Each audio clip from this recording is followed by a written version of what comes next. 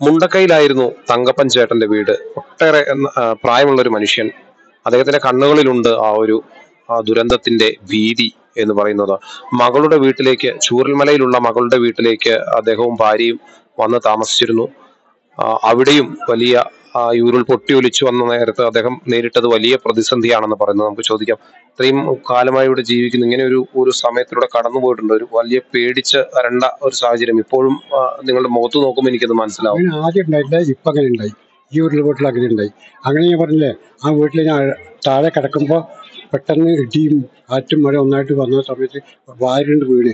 വാതിൽ അടുത്ത് നല്ല കുറച്ച് വാര് പൊട്ടി വിട്ടായും തള്ളി. തള്ളിയിട്ട് വെള്ളവും ചളിയും ഒന്നായിട്ട് വന്നിട്ട് എന്റെയും ഭാര്യന്റെ മേലെ ആകെ മുങ്ങിയ മതി അപ്പോൾ അവർ മേലെ കിടക്കുന്നവർക്ക് പറ്റിയില്ല. അവർ ഇറങ്ങി വന്നപ്പോൾ അത് കണ്ട് സഹിക്കണ്ട അപ്പോൾ പറഞ്ഞു ഇനി ഇവിടെ കിടക്കാം. അപ്പോൾ അത് കഴിഞ്ഞു. ആ രംഗം കഴിഞ്ഞു. മറ്റേ ഇടിപൊട്ടൊക്കെ നിന്നു. അത് കഴിഞ്ഞപ്പോൾ മെല്ലെ നമുക്ക് അട്ട വീട്ടിൽ പോകാറുണ്ട് അട്ട വീട്ടിൽ പോയി ആ ചേട്ടന്റെ വീട്ടിൽ പോയി പാർക്കൂടാണ്. അവിടെ പോയിട്ട് നമ്മൾക്ക് ഇരിക്കാണ് അങ്ങനെ പോയിട്ട് അവർ ആദ്യം പോയി. അപ്പോൾ ഞാനും ഭാര്യ കൈ പിടിച്ച് വെച്ച് മെല്ലെ മെല്ലെ കണ്ണ് കാണില്ലല്ലോ ഇരുട്ടല്ലേ.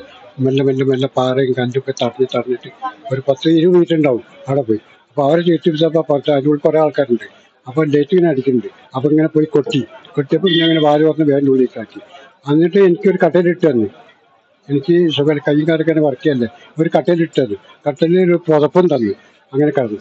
അത് കടന്നിട്ട് ഒരു മണിക്കൂർ കഴിഞ്ഞപ്പോൾ ഭയങ്കര ജയമായി തന്നെ. രണ്ടാമത്തെ പരിപാടി. ഒന്നൊന്നര രണ്ട് മണിയാകുമ്പോൾ ഭയങ്കര ഇതായി. വന്നിട്ട് കളി മണ്ണ് ഒന്നായിട്ട് വന്നിട്ട് എന്റെ മേലക്കള്ളിട്ട് ശരീരത്തിൽ വന്ന് പിടിച്ചു. എന്റെ ഭാര്യ ഉണ്ടായി? പിന്നെ ഭാര്യനെ കാണില്ല മകളൊക്കെ ഉണ്ടായി. ഭാര്യ അന്ന് പിന്നെ കാണില്ല അപ്പം ഞാൻ വിചാരിച്ചു അവർ അപ്പത്തുണ്ടാവുന്നു അങ്ങനെ ഇങ്ങനെ മേലേക്ക് അപ്പം ഇതൊക്കെ വീഴുന്നവർക്ക് തോന്നുക ആദ്യം പേടിച്ചു? ഇതെല്ലാം വീഴും. നീ അങ്ങനെ അമർന്ന് പിടിക്കുക തമ്മരൊക്കെ കൈകൊണ്ട്. അങ്ങനെ തോന്നി എനിക്ക് അങ്ങനെ അങ്ങനെ അങ്ങനെ പിടിച്ചു നോക്കുമ്പോൾ പിന്നെ എല്ലാ ദൈവങ്ങളെ പറ്റി പറഞ്ഞു.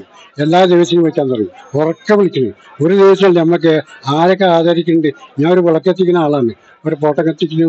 ബിംബങ്ങൾ എല്ലാ ദൈവങ്ങളെയും ഗുരുവായൂരപ്പനെ അവർ വരെ കത്തിക്കുന്ന ആളാണ്. അപ്പം ഞാൻ എന്റെ ദൈവത്തിന് മാസം എല്ലാം കണക്കാക്കി. എല്ലാ മതക്കാരും എല്ലാ മതക്കാരും ദൈവത്തിനെ പറ്റിയിട്ട് വിളിച്ചുകൊണ്ടിരിക്കുകയാണ്. യേശുവിനെ വിളിക്കുന്നുണ്ട്. മുസ്ലിമിന്റെ ആൾക്കാർ വിളിക്കുന്നുണ്ട്. അവരെ മനുഷ്യനെ പറ്റി പറഞ്ഞിട്ട് പള്ളിയെ പറ്റി പറയുന്നുണ്ട് അങ്ങനെ ഏത് കൊടുങ്ങണ്ടൂരമ്മേനെ ഗുരുവായൂരപ്പനെ ശബരിമല സാത്താവ് അങ്ങനെ എല്ലാ യേശു യേശുവിനെ അങ്ങനെ വിളിച്ചിട്ട് ഉറക്കെ വിളിക്കണം എല്ലെന്നല്ല ആര് കേൾക്കുന്നില്ല. വിളിച്ചു വിളിച്ച് എനിക്ക് പെണ്ണുങ്ങൾ കുട്ടികൾ പിന്നെ ഓർമ്മയില്ല. അങ്ങനെ വിളിച്ചിട്ട് ഇങ്ങനെ തണുത്ത് വെച്ച് ഇങ്ങനെ ഇരിക്കുകയാണ്. അങ്ങനെ നേരം മുളുക്കാനായി. ഇടി ഭയങ്കര. ഒരു ഒരു മണിക്കൂർ വരെ ഉണ്ടായിരുന്നു ഇടി ഇങ്ങനെ കാറ്റും മഴയും കട മറ്റേ കല്ലൊക്കെ വന്ന് അടിക്കുന്ന സൗണ്ട് കേൾക്കുന്നുണ്ട്. അടിക്കുന്നു അങ്ങനെയായിരുന്നു അങ്ങനെയായിരുന്നു. ഞാൻ ഇങ്ങനെ വരച്ച് വരച്ചിരുന്നു. അപ്പോഴും നേരം എടുക്കാനായി. അഞ്ചഞ്ചര സമയമായി.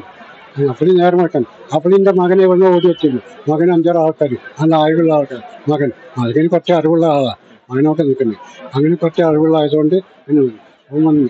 അപ്പോൾ എനിക്ക് ഇറങ്ങാൻ പറ്റില്ല. ഇറങ്ങിക്കഴിഞ്ഞാൽ കാൽ പൂന്തി പോകും. ചിറക്ക് പൂന്തി പോകും. ചിറക്ക് പൊന്തില്ലേ? അപ്പോൾ അവർ വേറെന്തൊക്കെ സാധനം ഇട്ടെന്ന്. ഏഹ് എന്നിട്ട് അതിന് കാൽ വെച്ചിട്ട് മെല്ലെ അപ്പുറത്ത് അവർ വലിച്ചിട്ട് അങ്ങോട്ട് താഴ്ക്കിറക്കി.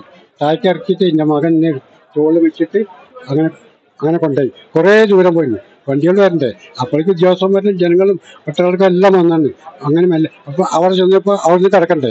അവിടെ കിടക്കാൻ ബുദ്ധിമുട്ടാണ് അപ്പോൾ അവിടുന്ന് ചെറിയൊരു പാലട്ടുണ്ട് ആ പാലത്തിലൂടെ ഓരോരുത്തരും ഓരോരുത്തരും ഇങ്ങനെ കത്തിവിടുക പിന്നെ അവിടുന്ന് ഏറ്റിട്ട് അവരെന്തെങ്കിലും ആക്കിയിട്ട് വണ്ടിയുള്ള സാധനമൊക്കെ ഇട്ട് അപ്പുറത്തേക്ക് അപ്പുറത്ത് ഏറ്റി പിന്നെ ആ കുറച്ച് ആൾക്കാർ ആംബുലൻസിൽ വന്ന ആൾക്കാർ ആശുപത്രി ആശുപത്രിയിൽ നിന്ന് വന്ന വണ്ടിയിൽ ആൾക്കാർ ഇന്നെ അവിടുന്ന് ഏറ്റി ഏറ്റി കഴിഞ്ഞ് മാറി മാറി മാറി മാറിയിട്ട് ആ കുറേ ദൂരം കൊണ്ട് അവിടുന്ന് തന്നെ കയറ്റി ഇവിടെ ഇവിടെ കൊടുത്തു. അവിടുന്ന് നേരെ ഇങ്ങോട്ടാണോ? ഇങ്ങോട്ടല്ല ആസ്പത്രി മിൻസി ആസ്പത്രി അവിടുന്ന് എന്റെ ചികിത്സയെല്ലാം കഴിഞ്ഞിട്ടാണ് ഞാനിവിടെ വന്നത്. ബുദ്ധിമുട്ടുകളൊക്കെ എന്തെങ്കിലും ഉണ്ടോ? ഇവിടെ താമസിക്കുമ്പോൾ ഈ ഇതൊക്കെ ചികിത്സയൊക്കെ നടന്നോ അതൊക്കെ ഇൻജക്ഷൻ ചെയ്താൽ അവിടുന്ന്. പേടിയാണ് ഇപ്പോൾ ഒരു സൗണ്ട് കിട്ടുമ്പോൾ പേടിയാണ് അത്രയും പേടിയല്ലേ? എല്ലാ ബുദ്ധിമുട്ടൊന്നും ഇല്ലാതെ എല്ലാ സഹായങ്ങളും കിട്ടുന്നുണ്ട്. അച്ഛന് ഇപ്പൊ ശ്വാസം മുട്ടലിന്റെ ഒരു ഇതായതുകൊണ്ട് പിന്നെ അമ്മ ചേച്ചിയും പോയില്ലേ? ഇപ്പൊ അച്ഛനെ നോക്കാന്. ഓ എല്ലാ സഹായങ്ങളും എല്ലാ ഇതും ഇവിടെ. നല്ല സഹായമാണ് എല്ലാ ഇതും കൊണ്ടും.